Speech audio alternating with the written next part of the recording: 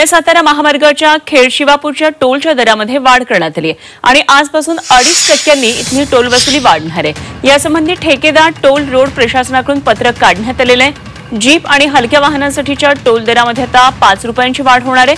व्यावसायिक वाहनांच्या दरामध्ये पाच रुपयांची वाढ होणार आहे. तर खेड शिवापूरचा टोल सुद्धा आता वाढलेला आहे. कार जीप हलकी वाहनं यासाठी आधी एकशे पंधरा रुपये मोजावे लागत होते. पाच रुपयांची वाढ होऊन आता एकशे वीस रुपये झालाय.